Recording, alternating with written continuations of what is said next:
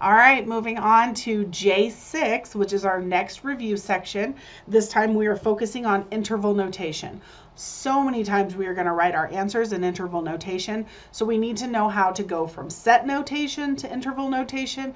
We also need to know how to go from a graph to interval notation and kind of how to go between all those different um, ways of representing our answer. So interval notation is basically saying my answers can be from this value to this value or anything in between, right? Set notation is a little bit more mathematically precise way of defining a set of solutions. So we're going to kind of go over both and how they're related so that you'll be able to navigate easily between one form to the other. So when we look at set notation, this is just a really fancy way of saying my answers are these numbers as long as they satisfy something. Okay, so we write it like this with the little squiggly braces, right, or curly brackets. I'm not really sure what those are called. um, but that is set notation anytime we use these little squiggly brackets. And then we say x, or whatever our variable is. So what that means is the set of all possible x's. x could be anything. Okay, so this is our possible solutions. X is all possible solutions, okay? And then this little line right here represents such that, okay? So X could be anything such that it satisfies something, okay? So it has to satisfy this satisfy this.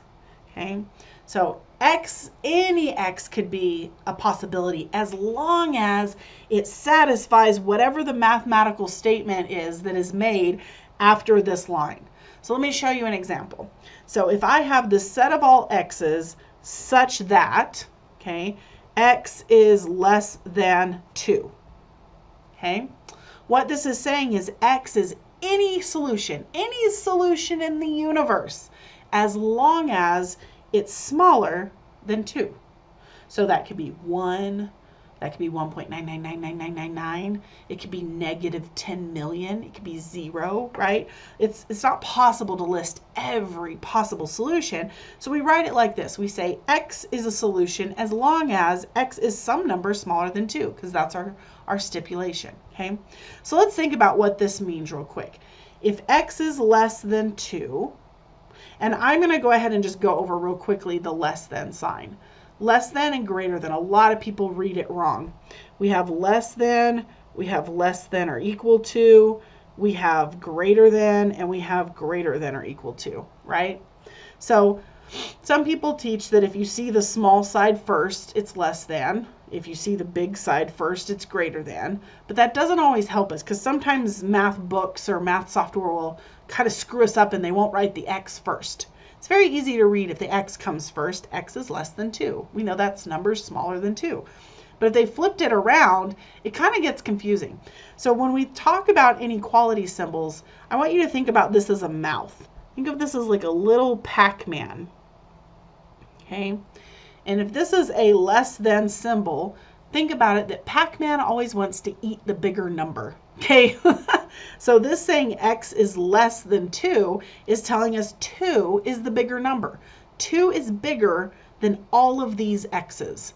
So let's think about that on a number line. If this is our number line, and I'm just going to stick 2 on here somewhere, right? And, and this side could be like, you know, 3, 4, 5, 6, 7, all the way up to like infinity, right? And then numbers smaller than 2, so 1, 0, negative 1, all the way down to negative infinity, right? I'm talking about x's that are less than 2. So if all of my answers are less than 2, then that means they're going to be to the left of 2, right? Or you can think about it as like thinking about Pac-Man. Pac-Man eats the bigger number. So if I make this into a Pac-Man, he's eating 2. So 2 is bigger than all of my solutions. So wherever 2 is, there shouldn't be any solutions bigger than it because 2 is the biggest one, right? All right, so here's our shaded solution. So now I want to be able to write it in interval notation. What interval notation says is that our answer could be from this small number up to this big number or anything in between. So what I have shaded is basically from way out here as far as negative numbers go up to 2, right? So basically what that's saying is my answers could span all the way back to negative infinity as far as the eye can see, right? Or they could go all the way up to 2. So this is how we're going to write interval notation from negative infinity to 2. Now we use symbols on the ends to show if these endpoint values are included or not. Okay. Now infinities, that's that's not really a number that we can include and say this equals infinity, right? So infinities, we're always going to use parentheses because parentheses represent open intervals, or in other words, our endpoints are not included in our solution because we can't say x can equal negative infinity, right? So we're going to use a parenthesis. Now when we look at 2, we go back to our symbol, okay? Oh, we look at our little Pac-Man here. Notice this is a strict inequality. This is x is strictly less than 2. That means it's not including 2. If it was including 2, we would have a Pac-Man like this, right? Our Pac-Man would have a goatee. he would have a beard, right? Because we would have the less than or equal to bar. But since there's no equal to bar under here, 2 is not included. So again, we use a parenthesis. If there was an equal to bar there, then we would use a bracket because brackets represent closed intervals, or in other words, endpoints are included. Okay? All right, so let's go ahead and look at some examples. Now, first thing you should note is this big graph is just explaining what I just explained to you, showing you a whole bunch of different examples of what it could look like. Okay, this is not something you're going to be able um, to use like you know, on an exam or anything, but hopefully it's something that will kind of help you through your homework until you're you're getting used to seeing this. So I want to show you what it looks like to go from set notation to interval notation, and then also what it looks like to be given a graph and be able to write interval notation for it. Okay, so first of all, let's look at our uh, set notation here. This says the set of all x's such that negative 5 is less than or equal to x is less than or equal to 9. So let's take all this extra fluff off for just a minute. If you just see negative 5 is less than or equal to x is less than 9, in our brains, right, just in common English talk here, this just looks like x is between negative 5 and 9, right? So that's what we want to write for interval notation. We just want to say that x is between these two values, or it could be anything in between those two values. So we know for this, our solution is going to span from negative 5 to 9, right? X is between negative 5 and 9, so it's any number between negative 5 and 9, right? And then we want to put um, our parentheses or brackets on the ends. So notice here, this one is a less than or equal to, so because has that equal to bar, that means that x could actually be negative 5. And if it could actually be negative 5, then we want to use a bracket, right? On the other end, if x is less than 9, then we want to go ahead and say it's not including 9, right? Because there's no equal to bar. So on this side, we're going to use a parenthesis, okay? Let's look at another one. This one says the set of all x's such that negative 13 is less than x.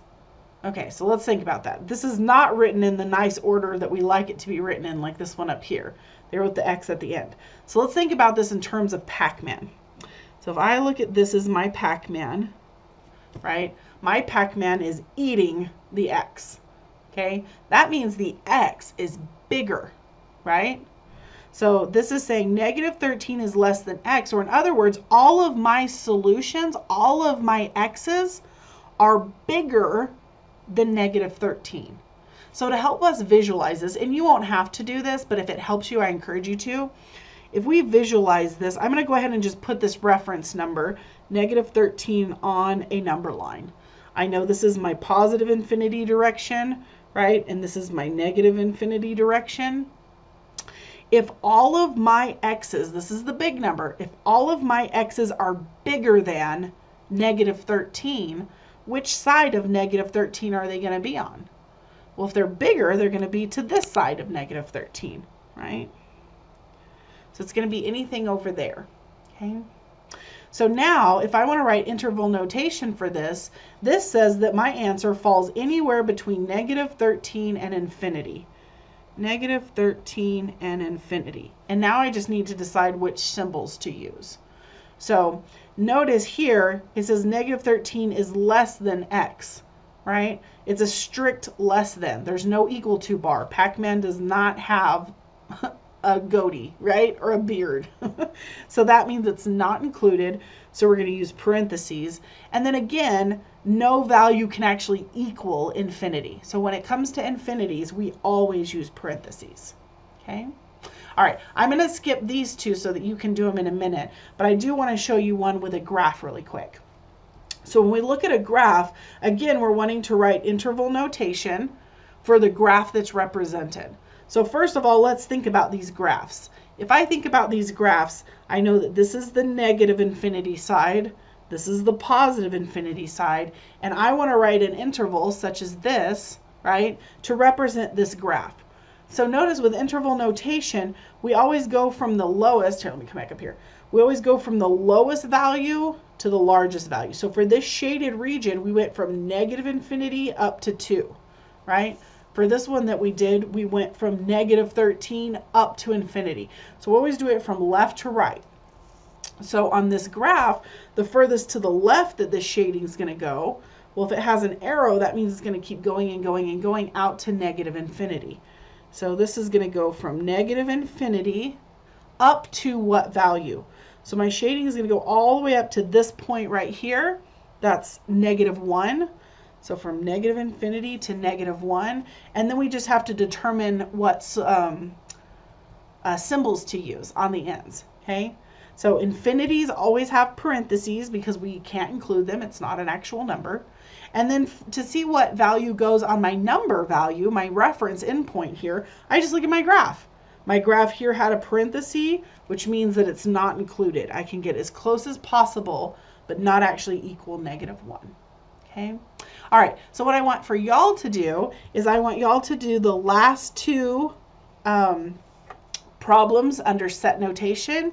And then I'd like for y'all to try the last two graphs. Okay, so go ahead and pause the video, uh, give those a try, and then when you're ready, play the video again and we'll go over them. All right, here we go. Let's see how you did. This one basically says that x is between 10 and 30. So we're going from 10 to 30. And because both of these are strict inequalities, we're using parentheses on both sides. Okay, we okay on that one?